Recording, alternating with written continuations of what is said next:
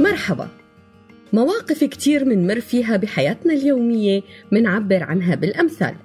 ومن هي الأمثال المثل يلي بيقول بين حانة ومانا ضاعت لي حانة.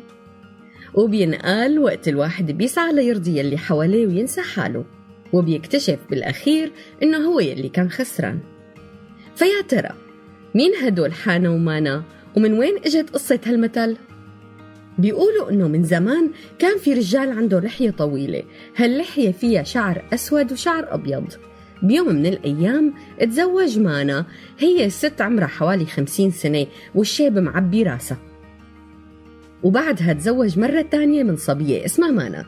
مانا هالصبية العشرينية كان شعرها أسود مثل سواد الليل.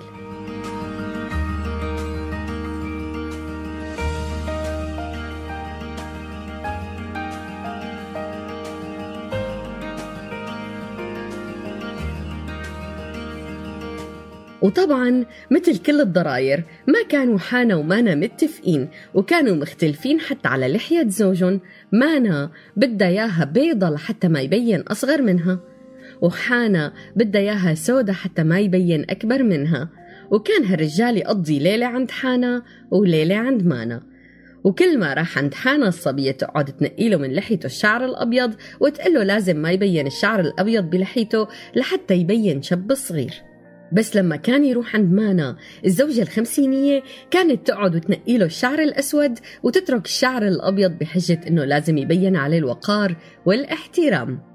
وهالشي بيبين بالشعر الشايب واللحية البيضة وضل الزوج على هي الحالة مدة من الزمن.